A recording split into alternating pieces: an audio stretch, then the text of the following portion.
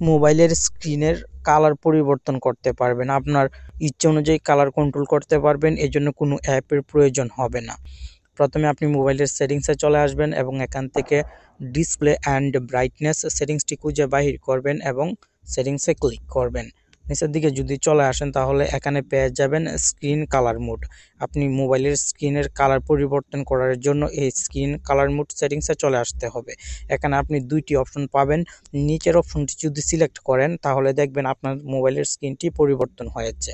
এখন আরেকটু নিচের দিকে যদি লক্ষ্য করেন তাহলে এখানে পেয়ে যাবেন স্ক্রিন কালার টেম্পারেচার। আপনার মোবাইলের স্ক্রিন কালার টেম্পারেচার যদি হাই হয় তাহলে আপনার মোবাইলের দিকে তাকিয়ে থাকতে প্রবলেম হবে।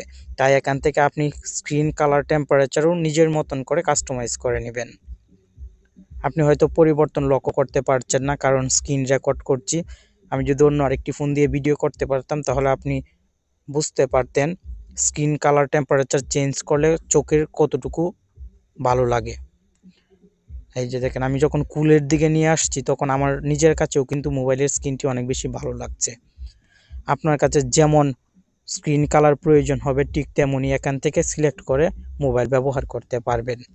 আজকের ভিডিওটি ছোট্ট হলেও অনেকের জন্য আশা করি অনেক বেশি গুরুত্বপূর্ণ এবং এই ভিডিওটি দেখে আপনি মোবাইলের স্ক্রিন কালার নিজের মতন করে কাস্টমাইজ করে নিতে পারবেন।